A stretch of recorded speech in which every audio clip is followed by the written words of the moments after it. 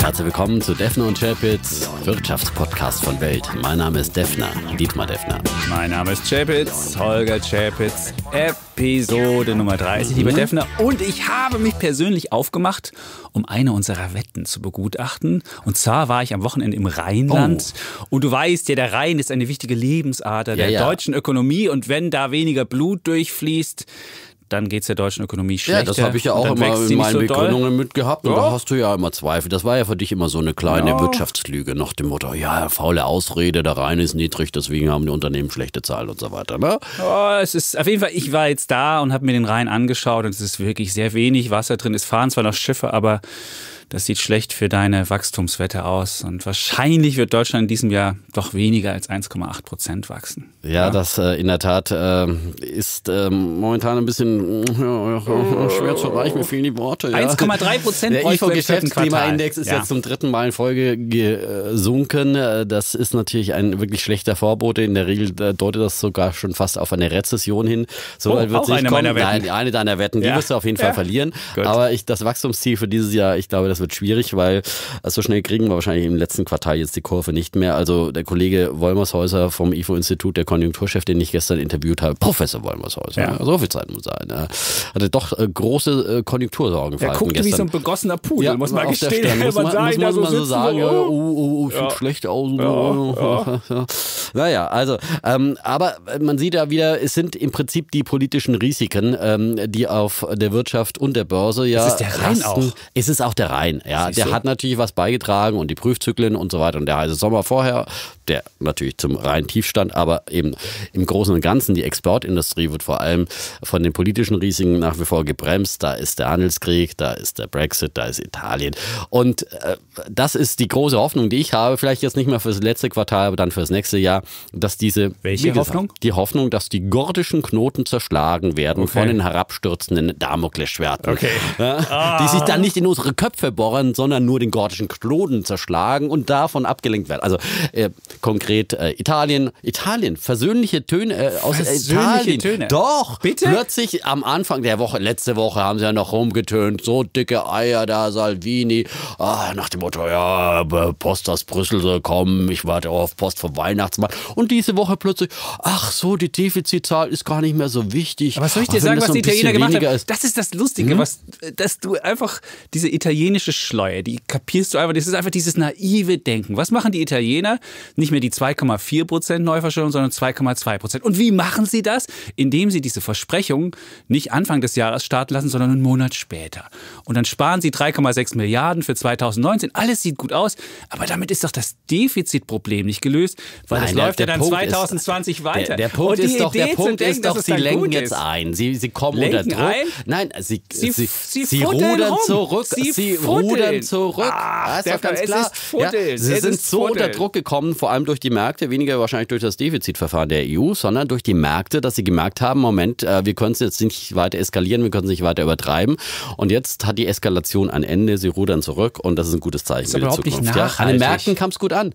Ja, ein bisschen. Aber da bist du von deiner Wette auch noch weit entfernt. Der Risikoaufschlag der zehnjährigen Renditen Italiens ist noch bei 2,9 weil ich mich, Prozent. ja, das war auch so eine Wette, wo du mich über den Tisch Überhaupt nicht, da lagen Ja, wir damals bei zwei. Und jetzt habe ich auf zweieinhalb mich ge Ich habe gesagt, ja, zweieinhalb Prozent. Habe ich damals, nee, wir wollen egal. die Diskussion noch nicht mal führen. Äh, erster, Brexit. Äh, schon mal äh, der Scheidungsvertrag ähm, von der, vom EU-Gipfel unterschrieben worden. Und da sage ich dir auch, äh, da wird auch, äh, wenn der Abgrund naht, beim britischen Parlament die Vernunft einkehren und äh, man wird nicht diesen ganz harten No-Deal-Brexit riskieren, bin ich. Und dann kommt natürlich der Gipfel, der G20-Gipfel in Argentinien, wo sich Trump und der chinesische Staatspräsident zum ersten Mal in diesem Jahr begegnen werden. Und da rechne ich auch mit einem Deal oder einem Dealchen. Und da wird auch der Handelskrieg äh, nicht mehr so hart aussehen. Das Handelskriegsball wird dann erstmal begraben werden, bin ich fest davon überzeugt. Und plötzlich haben wir ein paar politische Risiken mehr, äh, weniger natürlich. Und äh, plötzlich wird dann auch wieder die Zuversicht im äh, IFO-Geschäftsklima steigen und sich das auf Wo die Konjunktur diese auswirken. Zuversicht Ja, das wird Das passieren. ist der es wird passieren, ja. Defner, der die Ja, das ist nicht der. Weihnachtsmann, der hier spricht, sondern das Doch. ist begründete Hoffnung, ja. begründet, das ja? ist sehr schön. Ja, übrigens, Apple, Apple? ist mittlerweile weniger wert als Microsoft. Also auch das, da sieht man, äh, ja, dass die Welt Hm. Ja. sich auf einmal anders dreht, als weit man von der das Billion gedacht entfernt. Ja. diese, ich werde wahrscheinlich in diesem Jahr, es ist einfach jetzt ein Bärenmarkt gewesen und äh, du wirst Gewesen? wahrscheinlich Äh. gewesen. Ja. Achso, du hast das Ende des Nein, Bärenmarktes es, Ja, es war ja gar kein richtiger Bärenmarkt. Es war ja nur bei Technologiewerten war es ein Bärenmarkt. Ansonsten war es ja Gott sei Dank nur eine Korrektur im DAX zum Beispiel. Da sind wir ja knapp am Bärenmarkt vorbeigeschrammt. Äh, Wir haben eben nicht äh, die 20% Korrekturmarke doch überschritten und das geht. Theoretisch ging das alles, aber gerade ist ja der DAX jetzt auch wieder auf Erholungskurs und es gibt ja das alte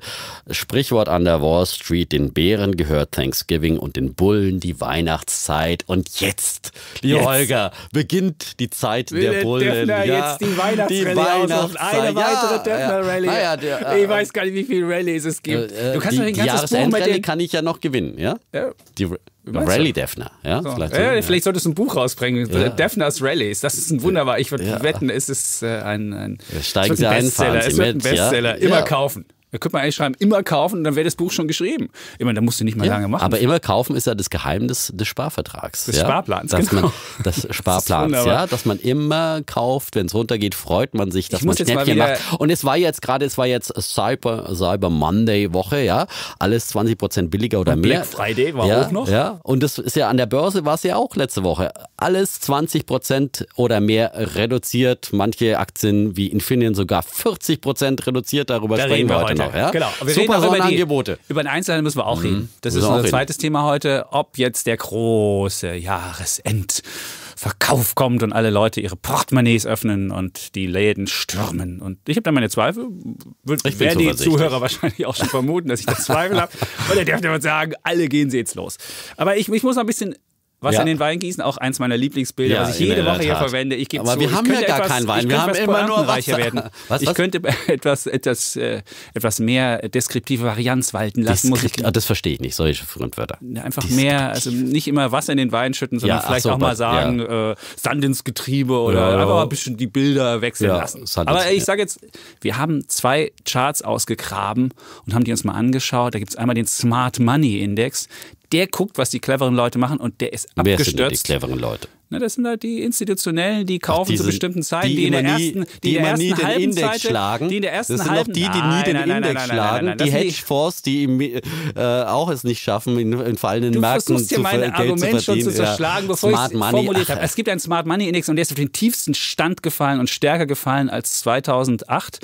Und der hat in der Vergangenheit immer Unheil angekündigt, insofern auf Unheil. Und das Zweite, es gibt ja so einen Frühindikator Sotheby's, das ist ja die Aktie des ähm, Versteigerers, Kunstauktionators und die ist auch mittlerweile über 30 Prozent gefallen. Und immer, wenn diese Aktie gefallen ist, hat das auch auf wenig äh, Positives hingewiesen und deswegen zwei negative Oh. Vorzeichen. Jetzt habe ich natürlich Ja. echt Angst. Ja, würde ich denken. Mhm. Ich zittere. Ja, und du solltest auch Angst haben, Tesla. Elon Musk will bei den Laden aus vom Mars führen. Er hat gesagt, er will demnächst auf den Mars ziehen. Man würde da zwar früher sterben, aber das wäre ihm auch egal.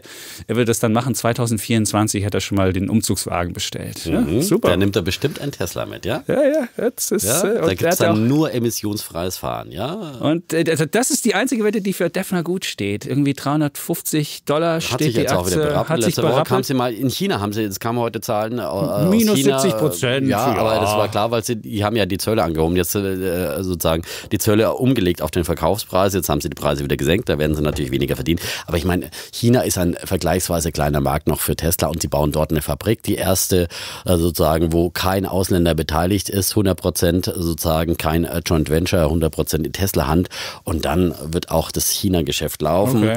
Und vielleicht tut sie ja auch was in Sachen Autozöllen äh, beim Gipfel Trump-Ski, man weiß Okay. nicht. Ja. Und er hat noch gesagt, der Elon Musk, mit einer 40-Stunden-Woche, da könne man die Welt nicht verändern. Man müsse mindestens 80 bis 100 Stunden arbeiten. Tja. Wir sind für diesen Podcast schon mal früher aufgestanden Ja, heute. ja, ich habe auch nur drei Stunden geschlafen, muss ich gestehen. Insofern, ich kriege jetzt die 80 Du Stunden musstest wahrscheinlich ja auch nicht noch ganz Hausaufgaben voll. machen mit Ja, mein Sohn. Sohn, der muss das, das, äh, der muss im in der vierten Klasse jetzt im ersten Halbjahr muss er in Mathe eine Eins bekommen, damit er eine Ach, Chance nicht so hat. viel Druck. Nein, aber er muss ja, wenn er wechseln will, aufs MINT-Gymnasium, da wird Mathe dreifach gezählt. Und da muss er jetzt eine Eins haben. Und jetzt versuche ich ihm irgendwie beizubringen, ohne großen Druck mit. Du ohne weißt ja, fordern Druck, und aber fördern. Ich muss eine Eins schreiben. Nein, nein, nein, nein. Hallo. Muss es ja, muss es ja, muss es ja sanft machen. Ja, ich meine, so ein kleines Kind sitzt dann da, der kleine Fritz. Und ich kam dann gestern nach Hause nach, unserem, nach unserer Aufnahme und er saß vor YouTube und guckte sich irgendein Lego an. Also ich meine, ehrlich, da sage ich, Fritz, du musst doch Mathe lernen. Naja, gut. Vielleicht ja, wird ein toller Ingenieur, ein toller fördern. Bauingenieur. Das ist auch zu Hause ja, ein Thema. Ja, ja, wir haben wieder unsere Rubriken, Rubriken. auch mitgebracht. Ja. Bullen und Bären, wir heben und senken den Daumen. Ja. Ich habe mich übrigens gefreut, dass äh, der Bundesverband Verbraucherzentrale sich meinem Ryanair angeschlossen hat ja. und das neue Preismodell bei Ryanair, äh, nachdem man ja das Handgepäck jetzt nicht mehr äh, frei hat sozusagen, verschärft kritisiert hat und abgemahnt hat sogar. Ah, ich glaube, mhm. die haben deinen Text genommen und haben ihn einfach äh, transkribiert vom Podcast. Ja, wir, wir setzen hier, äh, wir setzen hier. Und ah ja, eine Zuschrift habe ich. Wir haben ja mehrere. Wir, wir können noch mal kurz aufrufen, dass wir in dieser Woche zeichnen wieder einen Podcast, unseren neuen Fragen-Marathon ja. auf. Das werden wir am Donnerstag aufzeichnen. Also bis Mittwochabend wäre es gut, wenn wir so äh, noch Fragen haben. Und da hat mir bei Instagram zum Beispiel auch ähm, ein Hörer geschrieben, der auch eine Frage eingereicht hat und auch noch geschrieben hat, ähm, also wir sollen auch weiter Karlauern und Witze machen. Er findet es sehr unterhaltsam, auch wenn das in der Welt Wirtschaftsredaktion nicht so gut ankäme. Herr also Sommerfeld ist gemeint, ja. ja. Die ja, Spaßbremse. Wir nennen sie, wir nennen äh, Sommerfeld jetzt die Spaßbremse. Ah. Und die Frau, die Frau mag ja auch keine Witze. Ja? Meine deine Frau. Frau. Nicht die vom Sommerfeld. Nein. Die mag bestimmt. Meine Herr Sommerfeld und deine Frau. Meine Frau sagte, die Karlauer Dichte wäre zu hoch gewesen. Die haben wir deutlich reduziert. So, insofern, okay. äh, es sei denn, es kommen wieder daher meine, du hast wieder keine Argumente und du flüchtest dich wieder in den Witz. Das ist ja mal Dietmars äh, Ausflucht, wenn die Argumente fehlen, dass er dann den Wenn die Welt grau aussieht, muss man ja. sich manchmal auch in den Humor flüchten. Danke. Ah, ich dachte, jetzt kommt wieder irgendein Bibelzitat, was du ja auch denkst, aber gut, sei es so. Wir hatten Rubriken, oder? Äh, hatten wir, ja, hatten genau. Wir, ja. Und Wer es gibt den immer Anfang? den Bär der Woche du, ne? und den Bullen der Woche. Daumen hoch und runter. Ich mache zuerst, wie sich für einen Bären gehört, genau, meinen, deine, deine Stammrubrik, ja. Meinen Bären der Woche. mal schön.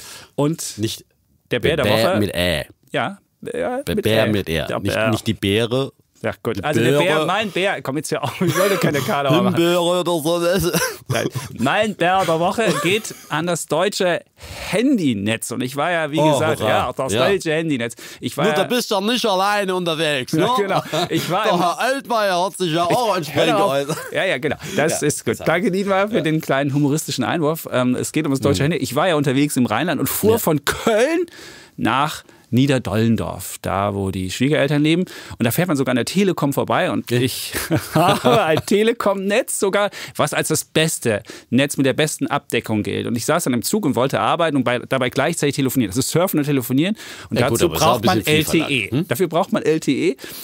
Und es brach immer wieder auseinander und immer wieder kaputt. Dann dachte ich so, wie kann das sein? Und dann hast du ja schon gesagt, Herr Altmaier kam mir dann auch just ähm, an diesem Wochenende um die Ecke und sagte, er ließe sich von ähm, seinem Büro nicht mehr ins Auto verbinden, wenn er mit ausländischen äh, Menschen spräche. mit Ministern vor allem. Mit Ministern, ne? weil er immer wieder neu anrufen müsste, weil das Netz zusammenbräche. Oh, das wäre ihm peinlich. peinlich. Ja. Und du wirst es ja jeden Morgen sogar erleben, auch wenn du U-Bahn fährst. Da gibt es ja noch das gute alte GSM-Netz aus dem Jahr 1992. Da steht so ein E immer oben. Edge wird ja. das auch genannt, weil die BVG hat nämlich nie den Ausbau richtig gemacht. Die hat nämlich von den Handybetreibern wollte sie Millionen haben, um das, damit die das Recht bekommen, da auszubauen. Das haben die nie bezahlt. Deswegen fährst du, wenn du in Berlin U-Bahn fährst, immer noch mit E. Also es ist wirklich, wirklich frustrierend. Und dann hatten wir auch am Wochenende der Welt am Sonntag diese Geschichte, dass die LTE-Abdeckung, also dieses 4G äh, schnelle Internet mit 78 Prozent das drittschlechteste in der EU ist. Nur Griechenland und Irland wären noch schlechter. Und deswegen geht mein Bär der Woche ans deutsche Handynetz. Und jetzt gab es ja die Vergabe für dieses neue 5G, das ist ja das superschnelle. Und da hat man jetzt extra darauf geachtet und hat in diese Bedingungen reingeschrieben, dass mindestens 98 Prozent der Deutschen dann an dieses Netz angeschlossen werden müssen. Es geht also wirklich prioritär um dann ähm, den Infrastrukturausbau, um so ein Problem, wie wir jetzt haben, mit der Abdeckung zu verhindern. Und möglicherweise wird es dann besser, aber erst 2000 22. Und bis dahin musst du wahrscheinlich, lieber Dietmar, noch in der U-Bahn mit dem mhm. E-Netz fahren und äh, mit, dem, mit dem E oben im Handy. Ja. Und, äh, man fragt sich natürlich dann, wie soll jemals irgendwie sowas wie autonomes Fahren äh, funktionieren. Das stimmt. Äh, und, äh, autonomes Fahren, ohne dass man die Daten hat. Netz, uh, steht mal wieder in der Pampa. Ja. Das stimmt. Du musst das Ersatzlenkrad aus dem Kofferraum holen oder sowas, ja, das dann schon abgeschraubt wurde. Ja. Stimmt, wenn du dann in so, in so, einem Funkloch bist, dann bleibt dein Auto stehen. Ja. Hm. Okay. Ich habe auch eine Bär der Woche. Hast du? Ja, für die Grundsteuer, präsentiert von Scholz and Friends. Nein, Olaf Scholz. So, ja. Olaf Scholz. Dem haben sie in die Wohnung eingebrochen, hast du es gehört? Ja, Wahnsinn. Und die Personenschützer haben es nicht, nicht verhindert. Ein Hoch auf den Personenschutz, ja. Da würde man sich richtig sicher fühlen dann als Politiker. Ja? Ich schätze mal, der wird jetzt verstärkt. Bei uns wohnte der Misier mal um die Ecke, mhm. als er noch Innenminister war und da stand immer Polizei vorm Haus. Ja? Also die stehen da wirklich davor, den ganzen Tag. Und dann kann trotzdem jemand einbrechen. Faszinierend. Und die AfD-Abgeordnete wohnt doch auch bei dir um die Ecke, oder? Die wohnt direkt nebenan. Wird die auch bewacht? Nee, da wird nur, da kommt regelmäßig Polizei, so einmal alle drei Stunden kommt die Polizei einmal vorgefahren, geht ins Haus rein, guckt und fährt weiter. Und trotzdem schaffen es immer wieder Menschen, das Haus mit irgendwelchen Farbbeuteln zu bewerfen. Tja. Das ist auch nicht korrekt. Nein. So, kommen wir zur Grundsteuer, mein Bär der Woche. Ähm, da hat Olaf Scholz äh, eben zwei Vorschläge zur anstehenden Reform vorgelegt, ähm, beziehungsweise wird sie vorlegen. Ähm, er hat sie jetzt wohl schon ausgearbeitet und wird sie am Mittwoch dieser Woche dann äh, den äh, Bundesländern zur Diskussion äh, vorlegen. Warum braucht er da Vorschläge? Das Bundesverfassungsgericht hat ja im April äh, geurteilt und gesagt, diese äh, Grundsteuer muss neu erarbeitet werden. Sie ist komplett komplett äh, veraltet, vor allem die Bemessungsgrundlage der Grundsteuer äh, und das sei eben verfassungswidrig, äh, denn Basisfaktor für die Steuerberechnung ist, sind die Einheitswerte für Grundstücke im Osten aus dem Jahr 1935. Ja, kann sich noch nicht mal der Chapels mehr dran erinnern. Nee. Ne? Oh. Und im Westen von 1964. Wir zahlen trotzdem wahnsinnig viel Grundsteuer. Du meinst, die Grundsteuer, die wir zahlen, ist noch aus der Bemessungsgrundlage von 1935. Angeblich ist das so, ja. Ähm, dann kann es ja nur teurer werden, ja, würde ja. ich mal sagen. Oh, ja? Danke. So. Dann gehe ich mal. Und ja, ja. Und jetzt äh, eben gibt es zwei Modelle, äh, die Herr Scholz da ausgearbeitet hat und sein Ministerium. Ein wertunabhängiges Modell, sogenannte Flächenmodell. Da geht es dann also nur äh, um die Flächen mehr oder weniger. Und ein wertabhängiges Verfahren. Äh, und beides ist wirklich jetzt äh, komplex zu erklären. Wie gesagt, die Details liegen eh noch nicht vor. Ähm, aber im Prinzip geht es eben darum, eher so Berechnungen nach Fläche oder Berechnungen nach Wert. Das wird dann unter anderem sich nach der Miethöhe berechnen und nach der wirtschaftliche Verwertbarkeit heißt und, das und so weiter und nach dem Alter des Hauses und so weiter und so fort. Ähm, meine Meinung ist, egal welches Modell man wählen wird, egal äh, wie die Berechnung sein wird, es wird ein bürokratisches Monster werden. Also beispielsweise, wenn man jetzt irgendeinen Wert da ermitteln will und nach der Miete, dann müsste ja alle Mieten müssten dann äh, vom Finanzamt erhoben werden, was auch immer. Und vor allem für Eigentümer, dann muss dann geschätzt werden, was wäre das denn jetzt für eine faire Miete, die du hier bezahlen musst in deinem Häuschen. Ja? Finanzamt. ja, da ja. kannst du mal richtig streiten. Gleich mal zum Bundesverfassungsgericht gehen am besten. Ja, also das wird ein bürokratisches bürokratisches Monster, ein wahnsinniger Aufwand. Und es wird wahrscheinlich im Zweifel auch wieder sehr, sehr ungerecht werden, weil wahrscheinlich in den Ballungsräumen, wo die Mieten höher sind, äh, die Mieten dann möglicherweise deutlich äh, steigen werden beim wertabhängigen Verfahren. Beim wertunabhängigen, wenn man nach Fläche geht, dann wäre es total ungerecht für die Landbevölkerung, weil da haben ja viele irgendwie viel Fläche, viel Grundstück, viel äh, Wohnfläche auch und zahlen trotzdem vielleicht nur für ein kleines Häuschen ein paar hundert Euro Miete oder was weiß ich, irgendwo in Brandenburg und plötzlich sollen die dann eine fette Grundsteuer bezahlen, weil sie so viel Fläche haben. Wäre auch ungerecht ich kann mir nicht vorstellen, dass da irgendwie eine saubere, unbürokratische, gerechte Lösung dabei herauskommt. Und deswegen sage ich, diese Grundsteuer gehört einfach abgeschafft. Vor allem, weil ja vom Staat und von den Politikern immer zu hören ist, ja, wir müssen Wohnen billiger machen, wir brauchen eine Mietpreisbremse und so weiter und so fort. Das wäre doch mal wirklich eine Maßnahme, um Wohnen billiger zu machen. 14 Milliarden Euro Entlastung. Milliarden. Und es ja. zahlen ja nicht der Hausbesitzer, es zahlen ja die Mieter. Es wird ja immer umgelegt auf den Mieter. Und von daher äh, würde das sofort Mieter und äh, Bewohner Bewohner von Eigentumswohnungen Aber das bekommen die äh, Kommunen. Die werden nie drauf verzichten. Aber da müsste man den Kommunen halt irgendwas anderes geben, einen Anteil an der Einkommensteuer. Und äh, wenn man schon die nicht senken will, dann kann man ja vielleicht denen einen Anteil geben. Dann wäre es eine indirekte Steuersenkung, käme allen zugute und würde das Wohnen äh, günstiger machen. Und ähm, das wäre mein Vorschlag. Super, Bär der Woche. Ja. ja. Aber Die ich glaube nicht, diese, diese 14 Milliarden, ich würde eher denken, wenn wir dann äh, demnächst hier sitzen, haben wir dann 20 Milliarden und dann wird das wie die kalte Progression. Wenn die Mieten steigen, Ja, ja. zahlen wir dann Wie bei automatisch der mehr. Rundfunkgebühr, ja? Ja. Da wollte man es auch aufkommensneu. Und dann wird hier mal wieder und ach, hups, ist plötzlich ist doch mehr geworden, sowas. Nach unseren Berechnungsgrundlagen, ja, ja. Also das wird das wird genauso werden, auch wenn man jetzt sagt, es soll sozusagen bei der bisherigen Summe bleiben. Und deswegen, Aber ein guter, Abschaffen. guter Bär der Woche. ja, die Aber Grunderwerbsteuer folgt dann demnächst als Wert der Woche. Ja? Jetzt ich- würde ich auch gleich mit abschaffen. bei mir geht es auch um Mhm. Steuern. Beim Bullen der Woche. Oh. Ja, weißt du was? Bei mir kriegt der deutsche Steuerzahler, bekommt den Bullen der Woche. Jetzt wirst du sagen, das sind ja dann ganz viele, weil jeder muss ja irgendwie Steuern zahlen, weil ja alle Mehrwertsteuer und was auch immer. Aber es geht bei mir um diejenigen, die Einkommenssteuer und Solidaritätszuschlag auf die Einkommenssteuer zahlen. Und das sind nicht mehr so viele. Nämlich ein ziemlich kleiner Prozentsatz der Gesamtbevölkerung stemmt nämlich den Großteil dieser Einkommenssteuer. Und es geht da wirklich um Einnahmen von ungefähr 200 Milliarden. So viel ist die äh, Einkommenssteuer plus Soli. Und das ist ungefähr ein Viertel der gesamten gezahlten Steuern.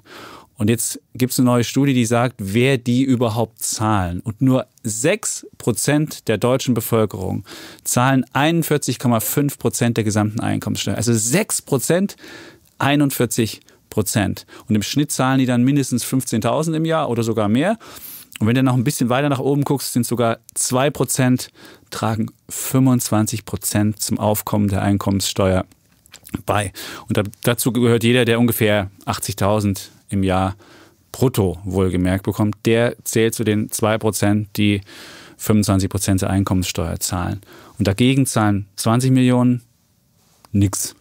Und da ist die größte, größte Anteil ist natürlich Rentner, aber auch Studierende oder Auszubildende oder andere Nicht-Erwerbstätige.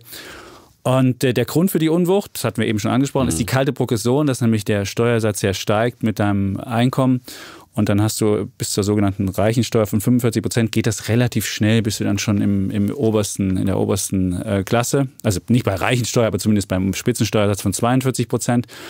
Und es wird sogar noch fieser, weil nämlich der Solidaritätszuschlag wird ja abgeschafft für die Niedrigverdiener. Und alle, die über 61.000 brutto verdienen, die müssen weiter den Soli zahlen. Und dann wird diese Unwucht, von der ich eben gesprochen habe, dass nur 2% die ähm, ein Viertel dieser ganzen Last tragen, wird dann noch fieser. Und deswegen dachte ich mir, mein Bulle der Woche an diese Steuerzahler, die das die so ein bisschen der moderne Atlas für Deutschland sind, also die Welt tragen auf ihren Schultern. Und das, das heißt ja immer ungerecht wäre die Welt und jetzt ist sie immer ungerecht von der Seite, dass eben relativ wenige für diesen ganzen, für diese ganze Einkommenssteuer zahlen. Ja? Also könnte man auch ein Bär für das System vergeben, ja? Also Ja, und es wird immer fieser. Also es wird immer, immer ungerechter, weil diese kalte Progression ja zuschlägt. Dann kommen immer mehr, also dann bist du halt relativ schnell schon da oben drin und dann, ja. ja, in der Tat. Ähm, Ja.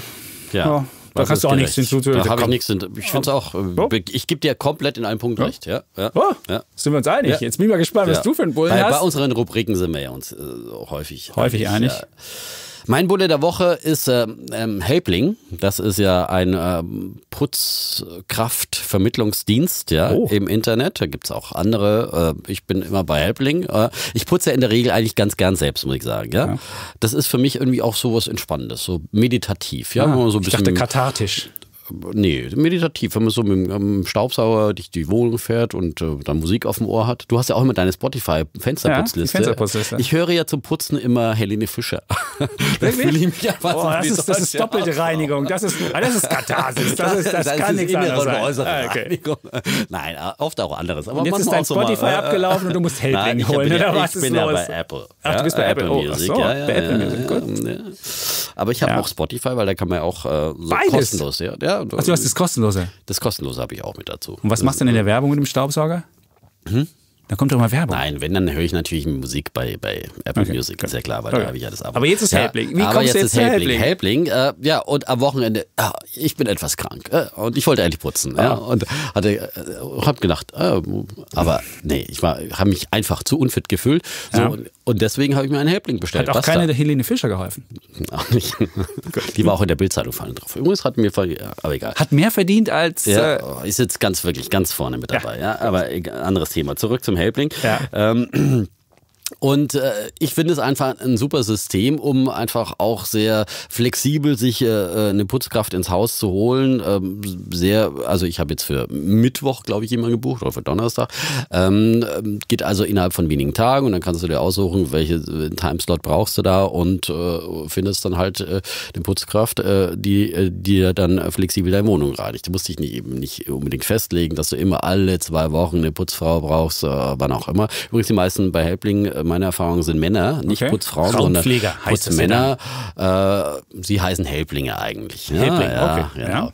Und ähm, ja. Ähm, Wie machst du mit dem Schlüssel? Ja, den übergebe ich dann und okay. dann hinterher wird er in den Briefkasten geschmissen. Okay, ja. Äh, zum Beispiel. Da habe ich auch volles Vertrauen. Das okay. ist auch bisher noch nie was passiert. Es war immer, war immer auch ordentlich geputzt. Manchmal die eine oder andere Stelle, manchmal gebe ich dann nur viereinhalb Punkt, äh, Sterne oder sowas. Man kann ja dann hinterher bewerten. Ist ja auch das Schöne, du hast ein Bewertungssystem, eben wie bei anderen Portalen auch. Äh, kannst du auch immer gucken, was hat derjenige für Bewertungen.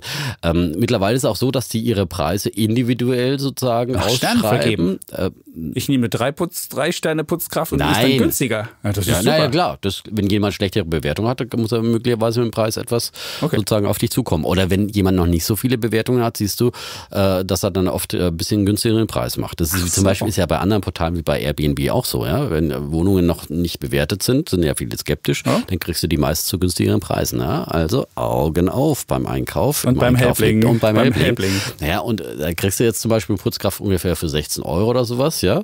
Äh, also die Preisrange geht ungefähr von 15 bis, bis 19 Euro. Ja. ja und, ähm, Alle Versicherung, alles drin? Alles drin, okay. ja. Und es ist halt legal, ja. Es ist die Alternative äh, zur Schwarzarbeit und äh, damit äh, kann man dann äh, sozial äh, einvernehmlich äh, jemand engagieren, der ist versichert. Und wie gesagt, ich kenne natürlich viele, die sagen, oh, ich mache das schwarz, dann zahlst du auch 10 Euro, ja, mittlerweile für eine schwarze, schwarz arbeitende Putzfrau. Ich soll nicht mehr schwarze Putzfrau sagen, weil es geht ja nicht um die, sondern schwarz arbeitende Putzfrau oder sowas, ja. Und es ist einfach äh, Sozialbetrug, muss man einfach immer wieder mal ganz klar sagen. Und das sind ja immer diejenigen, die sich dann immer aufregen über, äh, keine Ahnung, Steuerhinterziehung und so weiter. Aber im Kleinen ist das dann immer so ein Kavaliersdelikt, finde ich nicht ganz okay. Ähm, und wie gesagt, da ist, äh, sind diese Portale eine gute Möglichkeit, vor allem wenn du auch ähm, regelmäßig buchst, wenn ja. du sagst, ich lege mich jetzt auf äh, einen Zwei-Wochen-Rhythmus fest ja. und engagiere über Helpling sozusagen eine Putzkraft, dann kriegst du ja auch nochmal 30% Rabatt, dann ist es nochmal, äh, bist du plötzlich bei, bei 13 Euro pro Stunde ja. oder sowas, ne? Und da bist du auch wieder nah dran. Und dann muss man bist sagen. ja fast schon am Mindestlohn. Und, und du kannst ja, ja gut. Ähm, das Portal will ja auch was haben. Hm? Das Portal will auch noch was haben, ja. Gut, aber das ist, ja, bist aber noch deutlich, da hat er okay. schon noch über, über Mindestlohn. Ja? Und ja, aber im Prinzip ist das ein Marktinstrument, das sich natürlich dann auch regelt, ähm, wo ähm, Angebot und Nachfrage zusammentreffen. Und man kann ja haushaltsnahe Dienstleistungen noch von der Steuer absetzen. Das darf man auch nicht vergessen. Und deswegen ist man dann, wenn man noch den Steuerabzug hat, ist man auch nahe äh, dran an dem Satz, was man einer schwarz arbeitenden Putzfrau zahlen würde. Und von daher finde ich das einfach die bessere, fairere Alternative. Es sind häufig auch ähm, ausländische Mitbürger, die zum Beispiel nicht unbedingt Deutsch sprechen, aber die häufig äh, Englisch sprechen. Ich finde es immer ganz interessant. Und du schaffst einfach hier auch Möglichkeit, äh, sozusagen neue, neue Kräfte in den ja. Arbeitsmarkt reinzukommen. Ja, das sind oft, äh, ich hatte oft auch südeuropäische Mitbürger, die dann einfach äh, nach Deutschland gekommen sind, hier in Berlin irgendwie sich was aufbauen wollen und halt als ein Standbein ja. dann äh, putzen gehen erstmal für den Anfang. Ja, allemal besser als äh, von Sozialhilfe zu leben oder was auch immer dann äh, äh, zu machen, um hier ähm, seine Kosten zu decken. Also mein Bulle der Woche für Helpling, ja? auch für andere Portale. Helpling übrigens eine Tochter von Rocket Internet, ah, ja. Ach ja, die können Einer gut gebrauchen. Die können ja, in der Tat, glaub, die müssen, Aktie ist kräftig unter Da musst du noch viele ja. Helplinge bestellen, damit die wieder auf deine 26 Euro kommt. Ich glaube, 23 ist sie gerade. Ja, jetzt hat sie ah. wieder ein bisschen berappelt, aber in der berappelt. Tat noch ganz schön ah. unter Wasser. Ist natürlich, ich meine, das ist, äh, die ist vom Börsenklima abhängig, weil es ja sozusagen äh, auch abhängig davon ist, immer wieder Startups sozusagen einen Exit zu schaffen an der Börse und sie äh, an der Börse wieder äh, äh, verkaufen zu können, die Beteiligungen. Aber übrigens, man hat angekündigt, dass man äh, die Global Fashion Group, äh, das ist sozusagen, sind die Zalandos ja. für Südamerika, Afrika, Russland und so weiter, also viele, viele äh, Beteiligungen von Modehändlern im Internet äh, sind da gebündelt in dieser, die wird wahrscheinlich nächstes Jahr im März, wenn das Börsenklima mitmacht, dann oh. Derzeit ist es nicht so gut. Kommen. Zalando minus 35 Aber Zalando übrigens im Black Friday Umsätze, Nutzerzahlen verdoppelt, also die die Aktie hat das noch nicht so richtig Ah, das gespiegelt. noch Aber, da kommen wir, da kommen wir jetzt zu unserem ja gleich Thema. dazu. Also, Ganz mein genau. Bruder der Woche für Helpling. Genau. Wir kommen zum Thema Einkaufen, Shoppen. Mhm. Hast du deine Weihnachtsgeschenke schon? Ja, ich, also ich muss, ich habe nicht äh, in der Cyberwoche da, äh, hab, ich bin ein großer Schnäppchenjäger, ja. Und wenn ich Schnäppchen sehe, dann muss ich zugreifen. Ähm, das mache ich im Supermarkt so, da gucke ich ja auch immer nur, wo sind die Schnäppchenangebote. Okay. Und äh, natürlich lässt man sich so eine Cyberwoche Nicht im entgehen. Internet nicht entgehen und muss sagen, habe ich schon fast fast alle Weihnachtsgeschenke jetzt gekauft, ja. Okay. Auch weil ich jetzt bald in Urlaub fahre, habe ich natürlich mich äh, zeitig bemüht und teilweise wirklich so 60 Prozent Rabatte da rausgeholt und so weiter. Ich Ja. muss ja zugeben, ich habe mich von dir anstecken lassen. Du hast ja von einem, von einem Ding erzählt, was du da geschossen hast bei Amazon und dann habe ich äh, das. Wir können jetzt keinen Namen nennen, wir wollen ja unsere Weihnachtsgeschenke nicht So ver verraten, ja. ja. Aber nicht schlecht, ne? Ja, und ich muss auch sagen, also es ist nicht so, dass es jetzt auf Kosten der Beschenkten geht, ja, dass ich so, Nein. ich habe ja einen gewissen, ich habe immer so für Einzelne, äh, je nach Familienmitglied, Status sozusagen, also äh, man so ja unterschiedlich so, aus. so gewisse Budgets, ja. Du weißt, was der Durchschnittsdeutsche Ja. ausgibt? Das würde ich jetzt gleich in meiner, das habe ich extra, Ja. 472 äh, Euro will er dieses Jahr ausgeben. Das ist ein Plus von 6 Euro im Vergleich zum Vorjahr. Aber dann, wenn ich dann Schnäppchen mache zum Beispiel, wollte ich bloß nur sagen, Ja. dann geht das natürlich zugunsten des Beschenkten, ja. Achso, kriegt also- er mehr. Ja, gibt, kriegt er quasi mehr für sein Geld, ja. Für ja. 472 Werte von Ja. 500 oder 600. Oder bei 60% Ja, das Rabatt ist- sind es ja fast schon 1000. Aber dann sind wir jetzt auch schon bei dem Thema. Und Ja. dann kann ich dir nämlich sagen, Mhm. wenn alle so wie du shoppen, dann mag der Umsatz brummen und du magst bei Zalando ganz große Geschäfte haben, aber du hast keine Marge dahinter. Und dann wären wir nicht beim Weihnachtsgeschäft. Das ist ja die umsatzstärkste Zeit im Einzelhandel. Knapp 19 Prozent erzielt der stationäre Handel jetzt in dieser Weihnachtszeit und der Onlinehandel sogar ein Viertel des gesamten Umsatzes jetzt zu Weihnachten. Und dies Jahr, und da kommen wir auch zu der Wette, die ich dir gleich anbieten werde, dies Jahr soll er zum ersten Mal 100 Milliarden Euro die Marke geknackt werden im Weihnachtsgeschäft. Im letzten Jahr hatten wir noch 98, jetzt sollen es 100,3 genau werden. Und dazu passt ja auch die Umfrage, ähm, wonach die Deutschen in diesem Jahr 472 statt 466 Euro nur ausgeben wollen. Nur, 6% mehr übrigens als 2017, die 472 Euro. Ja. Genau. Ja, schön, Muss dass man- du's gerechnet ja. hast, Nein, nein, ich habe es nicht selber gerechnet, aber ich es habe es so? auch nachgelesen, ja. ist das wirklich? Ist das 6 Prozent? Nee, 6 Euro, Entschuldigung, Ja. natürlich nicht 6 Euro. Ja. Defner. Ah, ja, das ist zu früh am Morgen. ist Es sind zu 6 früh. Euro mehr. Es sind 6 Ey, Euro, ja. gut. Es sind 6 Euro. Es sollen 6 Euro mehr sein.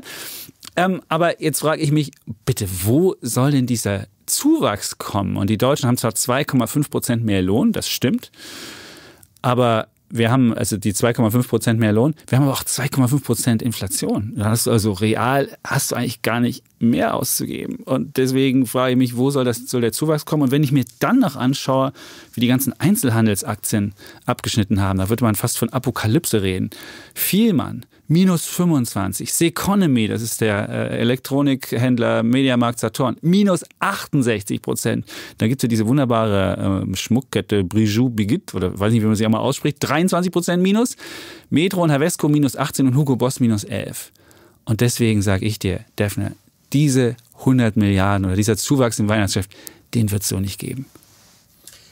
Ja, Also, dass die Aktien abgeschmiert sind, das lag ja vor allem an diesem heißen Sommer. Und du hast ja lange gezweifelt und immer gesagt, das ist eine faule Ausrede, auch das mit dem Rhein und so weiter, ja, und der heiße Sommer. Aber es haben ja alle querbeet, ob es Online-Einzelhändler waren oder Stationäre gesagt, äh, die Leute waren in diesem heißen Sommer einfach nicht in Shopping-Laune. Die hatten äh, wirklich anderes, die sind lieber in den Biergarten oder an den See gefahren, statt am Wochenende irgendwo sich in, in Einkaufsmalls rumzutreiben und da Klamotten zu shoppen. Man braucht ja auch wirklich nicht mehr viel anzuziehen in diesem Sommer, muss man sagen. Ja?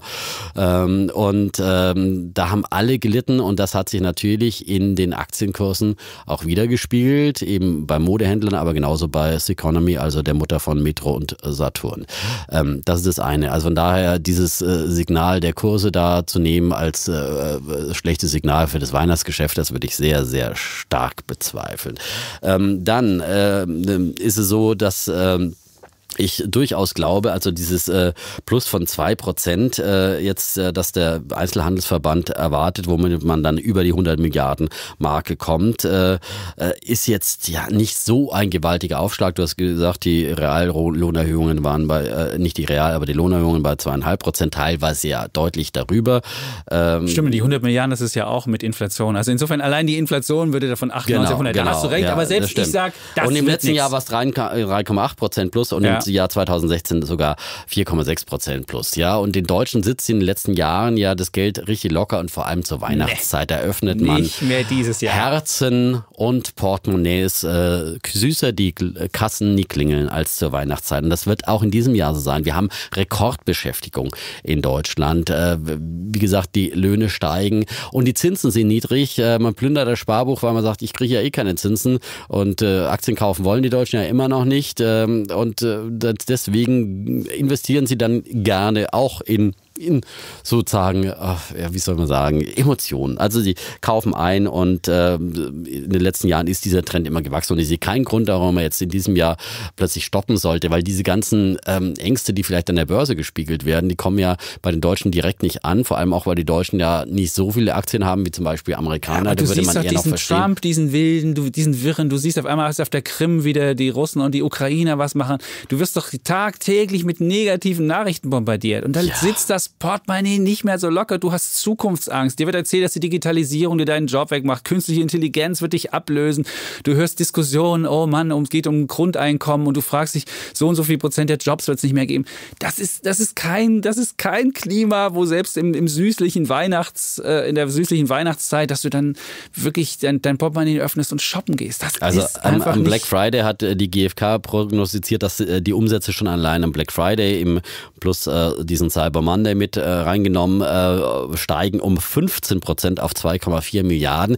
Das ist ja eben äh, etwas, was ja auch zusätzlich dazu kommt nochmal zum Weihnachtsgeschäft, ja, du hast es doch gerade gesagt, du hast für Weihnachten das genau. jetzt vorgekauft. Du gehst da jetzt nicht nochmal hin. Aber ich habe trotzdem auch einiges nochmal zusätzlich gekauft, weil wenn du dann so durch die Blitzangebote da klickst, ja, äh, plötzlich denkst, ah Mensch, das hier wollte ich schon lange mal. Und hier, ach, na, Champagner gibt es auch gerade für 30 Prozent billiger. Nehme ich noch mal eine Champagnerflasche mit, ja. Äh, und äh, du kaufst dann schon dieser, dieser Schnäppchen-Effekt, den du auch im Supermarkt hast, ja, dass du einfach noch ein paar mehr Schnäppchen dann auch einsammelst, was du eigentlich gar nicht unbedingt kaufen wolltest, ja. Und dadurch wird ein Umsatz dann auch angeheizt. Und äh, also ich bin äh, zuversichtlich, äh, dass äh, das äh, Weihnachtsgeschäft, äh, wie gesagt, äh, auch gut werden wird und dass sich die Deutschen von diesen ganzen äh, geopolitischen Sorgen da nicht Weihnachten verderben lassen werden. Oder dass sie sagen, jetzt erst recht. Denn Aber der morgen, Konsumklimaindex ja, ist auch nicht oben. Bei also diesen ganzen sagen, Zukunftssorgen, ja, lass uns heute nochmal feiern, denn morgen Nein, sind wir. Das ist nicht, nicht der tot, Deutsche, das ist der ah, Döffner. Ah, du darfst nicht von Nein, aber den Deutschen. Der Deutsche ist ein, ist ein risikobewusster Mensch, der, äh, der guckt sich die Weltlage der spart an. nicht an seinen Lieben zu Weihnachten und sagt, hier, weil der Trump gerade einen Handelskrieg macht, müssen wir diese Weihnachten kürzer treten. Ja? Aber das der wird zuerst, vielleicht wenn dein, schießen, wenn dein Job bedroht ist. Die Jobs hier sind sicher und wir haben nach wie vor äh, sozusagen. Gut, der, ich sage, der Cringe kommt, okay. das wird kein Weihnachten sagst, geben, der Cringe wird Weihnachten okay. klauen und deswegen sage ich keine 100 Milliarden in diesem Weihnachtsgeschäft. Okay, da wette ich locker dagegen. Wir können die Wette wahrscheinlich Wette, erst auflösen im neuen Jahr und dann wird es für die 2019er Wetten gelten. Wir vertagen jetzt ja viele Wetten sozusagen ja. ins neue Jahr und da ist dann die sozusagen der äh, Bilanzstichtag der 30.06. Ja, ja, genau. also wir machen jetzt dann immer zweimal. Aber nicht, dass das Weihnachtsgeschäft bei Defner bis 30.06. geht. Also so ist das es dann nicht. Aber, aber das, das, zählt dann in die Wetten des Jahres 2019. Wir werden halbjährlich abrechnen. Ich habe ja? das dieses Jahr eigentlich schon abgeschrieben, muss ich sagen. Wett, wetttechnisch, ja. Ich glaube, ich kann ich nicht. Ich kann vielleicht noch so wie, äh, es ist so die Herbstmeisterschaft, äh, wie, wie die Herbstmeisterschaft für Bayern München. Aber oh, deswegen Gott. hoffen wir dann auf die äh, ja. nächste Saison. Ja. Wer auf die Bayern, gut. Kommen wir zu deinem Bayern. Thema, lieber so, Es ist ein freakiges Thema. Wir hatten es vorhin schon. Ja, über einen super Obwohl es überall drin ist, in jedem Handy, in jedem überall, Auto, überall. Allem, es geht um ein Produkt. Immer mehr. Ja. Autos, ja, zum Beispiel in Elektroautos. Es geht um Chips. Chip, Chip, hurra! Haha. so. oh, Herr Sommerfeld. Das war aber jetzt wirklich Grüße an Herrn Sommerfeld. Ja, meine Frau darfst du auch gern mitgrüßen. Okay, ja, ja. Äh, Chip, okay. Chip, hurra für Infineon, äh, mein Thema. Äh, hatte ich auch schon mal äh, kürzlich angeschnitten, dass ich meine, dass diese Aktie wirklich. Haben deine äh, Fans zu, geschrien, zu mehr davon, Unrecht, Ich will mal über die Infineon, Infineon diskutiert haben. Ja, Ich habe einem Kollegen erzählt, dass wir über Infineon reden. Er hat sich Sexy. abgewendet ja. und wollte jetzt die Sendung Deine Kollegen, ja, ja, aber deine Kollegen, sie wollten. Wir sind, schon bei, wir sind bei Minute 33, dann müssen sie halt jetzt ausmachen, wenn sie nicht Infineon hören will. Aber ich würde sagen, das wird eine spannende Diskussion. Ja, ist auch für, für, Aktionäre interessant und äh, natürlich ist ein Dividendenrendite 1,4 Prozent. Uh, ja, Technologiewerte sind keine Dividendenwerte, okay. aber sie haben die Dividende erhöht, ja. Also von daher. Ja. Und ähm, sind natürlich auch immer klar auch konjunkturelle Frühindikatoren, ja. Ähm, also zum einen bei Infineon, um jetzt mal zur Seite zu kommen, äh, gab es äh, jetzt zum Auftakt dieser Woche äh, eine Neuigkeit, auch wieder eine äh, News, äh, dass die japanische Firma Denso äh, eingestiegen ist mit einem kleinen Anteil und man will dadurch seine Kooperation vertiefen. Denso ist ein Zulieferer der Automobilindustrie und beide wollen gemeinsam eben neue Technologien für das autonome Fahren und, das, und die Elektromobilität entwickeln. Und ich meine, das sind Japaner jetzt beim deutschen Chipwert einsteigt, ist auf jeden Fall ein äh, gutes Zeichen. Ähm, weil es gibt in Japan auch genug Chipwerte, an denen man hätte sich beteiligen können. Offenbar Sitzen nicht alle in schätzen Südkorea? sie sehr. Semikontakte ist, ist, ist immer, ich dachte mal Südkorea wäre so die. Ja, also auch, Taiwan Semikonduktor oder Ja, aber auch in Japan Okay. gibt es ja auch viele Chipwerte. Es ist ja, Aber äh, die kommen nach Deutschland zu Infineon. Ja, die kommen nach So. Deutschland und ja, wie gesagt, für viele ist das ein gutes Zeichen. Ähm, und das ähm, ist, äh, vielleicht nutzen sie auch sozusagen die Schnäppchenpreise, denn Infineon, wie gesagt, die gibt es absolut im Sonderangebot für Schnäppchenjäger. Aber bei Aktien ist ja leider immer so, im Gegensatz zum Cyber Monday, wenn Aktien günstig ist, äh, sind, äh, will sie keiner haben. Die Infineon-Aktie ist vom Hoch zum Tief in diesem Jahr um 40 Prozent etwa abgestürzt. Äh, und äh, man muss sagen, ich meine, zu Unrecht, sie wurden vor allem äh, sozusagen durch immer wieder schlechte Branchennachrichten nach unten gebeutelt. Zum Beispiel durch die Konkurrenz von Nvidia. Nvidia liefert ja ähm, äh, Chip- und Speicherkarten, die vor allem in der Kryptowährungsszene zum Schürfen von Bitcoins. Und wo steht der Bitcoin gerade? 3400. Ja, Eine meiner ja. schlechteren Wetten. Seit letzter Woche, da hatten wir nochmal drüber geredet, da war er gerade noch bei 5000, ja, und er ist weiter im freien Fall, ja.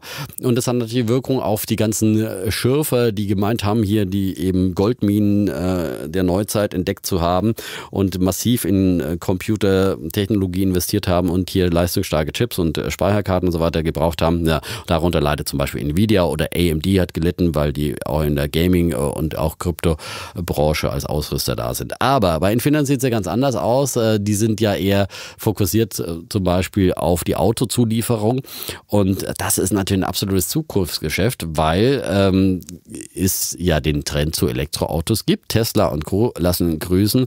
Und äh, bei Elektroautos werden in Zukunft äh, etwa doppelt so viele Chips verkauft, verbaut in einem Elektroauto wie in herkömmlichen Autos. Äh, In einem autonom fahrenden, elektrobetriebenen Auto werden etwa 750 für 750 Dollar äh, Chips dann gebraucht. Wie gesagt, doppelt so viel wie bisher. Und das ist natürlich äh, ja, ein absolutes Umsatzpotenzial.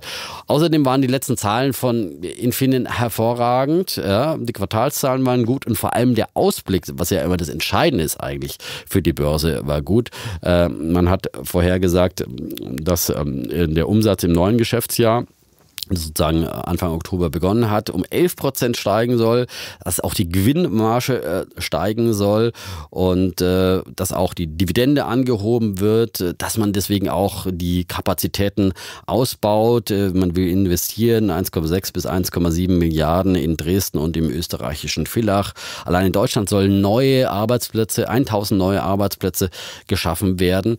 So, und nach diesen Zahlen, nach diesen hervorragenden Zahlen und hervorragenden Ausblick ist die Aktie um 8% abgeschmiert, weil eben es so viele Bären in dieser Chip-Welt gibt, die nicht Chip-Chip-Hurra rufen, sondern eben hohe Bedenken haben. Ja. So, und äh, dafür stand so nicht nur der Infineon-Vorstand, die Welt nicht mehr, sondern auch viele, viele andere und haben gesagt, wie kann es sein, dass eine Aktie nach so hervorragend eigentlich alles stimmte und dann so abgestraft wird. Und deswegen, ja, ich würde Willst einen Bullen vergeben, aber äh, diesmal ist, ist- es ein Okay, Thema. aber ich könnte dir ja in bin die, jetzt mal in die gespannt, was Bärenzähle. Ich, kann, ich, muss, ich muss gestehen, ich bin jetzt kein, willst. ich bin ja kein, ich bin jetzt kein ausgemachter Infineon-Spezialist, aber ich kann ja sagen, du hast ja auch schon angesprochen, die Chip-Branche ist eine sehr zyklische Branche. Und das, äh, wenn, wenn du den langfristigen Chipverlauf dir anguckst, gab es 2000, gab es mal so einen Peak. Und dann hat die Chipbranche gebraucht, ganze 18 Jahre, um wieder auf dem gleichen Niveau zu sein. Wenn du Intel 2000 gekauft hast, brauchtest du 18 Jahre. Also es hat ein, wenn du einmal so einen richtigen Boom hast, dann, dann braucht es ewig, ehe er wieder kommt. Und viele haben die Befürchtung, dass wir jetzt auch wieder so einen Boom gesehen haben, angetrieben durch die Kryptowelt, angetrieben durch die Vorstellung, dass bald überall Elektroautos fahren und dass das möglicherweise nicht so schnell kommt, beziehungsweise in der Kryptowelt ja äh, auch gar nicht mehr sich so materialisiert. Und wenn du dann noch deine Kapazitäten ausbaust, wie du es gerade gesagt hast, neue Arbeitsplätze schaffst, ganz viel Geld investierst, dann könntest du Gefahr laufen, dass du deine Marge damit kaputt machst. Und dann ist der Börsianer so, wenn er denkt, die Marge geht kaputt, dann wird die Aktie halt ausverkauft. Und das könnte ein Grund für Infineon gewesen sein. Ich muss gestehen, ich weiß jetzt nicht, nicht genau, wo Infineon jetzt dabei ist. Sie haben sich immerhin, du hast ja schon gesagt, in der Autozulieferung sind sie relativ stark, sind auch bei der Automatisierung in den, in den im Maschinenbau ganz, ganz stark. Nur wenn dann, wenn dann konjunktureller Abschwung kommt, womit ich ja rechne, dann ist die Chipbranche sicherlich nicht die, mit der du durch, äh, durch die Krise gehen willst. Und deswegen würde ich sagen, äh, mit der Aktie würde ich keinen Abschwung erleben wollen und deswegen kann ich den Optimismus, den du hier ähm, verbreiten möchtest, so auch nicht, auch nicht teilen. Und selbst wenn du eine, eine Dividendenrendite von 1,5 Prozent hast, die haben auch schon mal Dividende gestrichen. Und die können auch ganz schnell wieder mit den Zahlen ins Minus kippen. Chip ist so zyklisch und wenn du dann investierst und dann die hohen Kosten hast und auf einmal bricht der, der Umsatz weg, dann ist auch relativ schnell deine ganze Bilanz dahin und deswegen würde ich sagen, den Optimismus teile ich nicht und ähm, ja, würde fragen, was du mir für eine Wette anbietest. Ja, natürlich. Also ich gebe auch zu, die Zyklik ist natürlich ein Risiko, aber da bin ich ja auch positiv äh, für die weitere Entwicklung der Weltwirtschaft und äh, der deutschen Konjunktur und alle anderen Konjunkturen, weil ich ja glaube, das war jetzt alles nur eine Delle, wie gesagt, von geopolitischen äh, Risiken, die wir irgendwann jetzt mal abarbeiten, bestimmt und danach geht es im neuen Jahr mit neuer Kraft. Aber wenn du dir mal den langfristigen Chart anguckst, ich habe ja hier diesen Chart ja. aus mit Film, das ist der äh, Semiconductor-Index, SOX mhm. heißt der, den kann jeder sich mal angucken von den 90er Jahren bis heute. Und dann siehst du, was 2000 passiert ist und wie weit es da runterging und wie wenig es jetzt derzeit runtergegangen ist. Und ja, da aber gibt 2000, es noch das war eine absolute Tech-Blase mit unrealistischen Bewertungen, ja. äh, gerade im Tech-Bereich. Und da ist diese Internetblase und die ganze Euphorie aber auch jetzt Platz. Ist so ein bisschen, und im Jahr 2008 war es eine weltweite Rezession, äh, die schlimmste äh, seit der Weltwirtschaftskrise in den 30er Jahren. Und, äh, und jetzt haben wir eine kleine Delle und wir haben wahnsinnig, äh, wirklich eine sehr große Wende. Die, viel dieser Zukunftsprojekte wie Elektroautos und so weiter, die sind jetzt am Durchbruch, die kommen jetzt. Äh, VW investiert, selbst VW äh, ist jetzt aufgesprungen. 44 Milliarden wollen sie investieren. Was denkst du, die kaufen jetzt Chips auf Teufel komm raus okay. hier? Ja? Gut, dann, also, dann machen wir, machen wir, machen, machen Also wir ich sage, wir wetten ja jetzt bis zum nächsten Jahr, bis zum nächsten Halbjahr. Ja. Also da glaube ich, dass der Infinity wieder Boden gut macht und die sind jetzt bei knapp über 18 Euro genau. sowas, ja. Äh, und äh, du wettest ja auf den großen Untergang, also. Nicht auf den großen Untergang. Infineon war ja auch schon mal unter, unter einem Euro, so ja, 2008 ja, oder sowas. Ne? Das ist schon etwas ja, her. Da könntest du jetzt auf den Verfall wetten. Ich sage trotzdem, wir werden zulegen auf ja. 20 Euro. Sagen wir 20, 20 Euro. Euro. Das, ist, äh, das ist über 10 Prozent. Das ist pessimistischer das als die Analysten, die 23 sehen. Ja, aber die gut. Analysten sind ja immer spät dran. Die müssen okay. ja immer jetzt erst nochmal auf, äh, auf die korrigierten Kurse okay. regieren, bis sie ihre äh, Studien schreiben. Es gibt so. nur zwei, die verkaufen, sagen. Das macht mich auch skeptisch. Aber gut, dann sagen ja, wie wir gesagt, 20. die sind ja immer spät dran, die kommen schon Defner, noch. Äh, wir machen 20, 30.06. Wette gefixt. Okay, wunderbar. Eine neue Wette, die ich gewinnen werde. Oder auch nicht. Oder auch nicht. Genau. Ja. Prima. Dann, wie Das gesagt, war's. wir sagen nochmal, schreiben Sie uns Fragen gerne an unsere E-Mail-Adresse wirtschaftspodcast.welt.de. Weil der Defner nämlich in Urlaub geht In und da produzieren wir vor eine Fragen- und Antwortsendung. Wir produzieren auch ein Weihnachtsspezial Genau, vor. Mit, also wer noch keine Geschenkidee hat und sich jetzt noch nicht in den Cyberwochen eingedeckt hat, äh, wir hätten noch ein paar wirtschaftliche, finanzielle Ja. Geldideen sozusagen, die man verschenken So, kann. ich, ich liebe ja diese paternalistischen Geschenke, wo man den Leuten Schon sagt, wieder Fremdwort. Ja, so den Leuten sagt, äh, was gut, du weißt, du genau, du weißt, was gut für ich weiß, was gut für dich ist und ich belehre dich jetzt mal mit einem Buch oder mit einem ganz besonderen Spiel und das wird es dann hier auch geben. Also wie werden wir die Leute zu Börsianern erziehen? Wir bekehren sie. Bekehren, ja? genau, Bekehrungsgeschenke. Und unsere Hörer sind ja schon bekehrt und jetzt geben wir Bekehrungserweckungsliteratur heraus, ja, Sehr die man schön. dann auch unter den Weihnachtsbaum legen kann und dann sagen kann, Und weißt du, und wenn du mehr darüber wissen willst, dann hör einfach den Podcast von Defner und Chapitz. Ja? Das ist sogar ein gratis Empfehlen Geschenk. uns weiter. Das ja? ist ein gratis Geschenk. Ja, gratis, Ja, gratis. Aber als, man kann ein kleines Büchlein dazulegen und Gut. sagen, ne, so wie von den Zeugen Ja, Jehovas und wunderbar. sagen, ja, weißt du, Ja, jetzt, gut, jetzt. das Ende äh, der Welt kommt, musst du mal den Chapitz anhören. die Welt ist, steht Und ich vor aber der sage, Weihnachten. Erleuchtung. Ja. Du bist eher so der Erleuchtungsmann. Ich bin eher so der Weihnachtstyp. Ja, es kommt das Der Licht Zeuge in die Jehovas, Dunkelheit. wenn Sie nur an den Optimismus glauben. Sehr ja, schön. Genau. Sehr okay, Gut. über Glaube und äh, Ja, können wir dann irgendwann später mal diskutieren. So, das war's. Aber ich meine, Börse lebt auch vom Glauben, ja, vom Hoffen und Glauben, Bangen Gut. und Zuversicht. Ja. Schön. Das war's. Ja. Ja. Wir bleiben auf jeden Fall Bulle. Und Bär Sagen Tschüss und Ciao, ihr Defner. und Chapitz.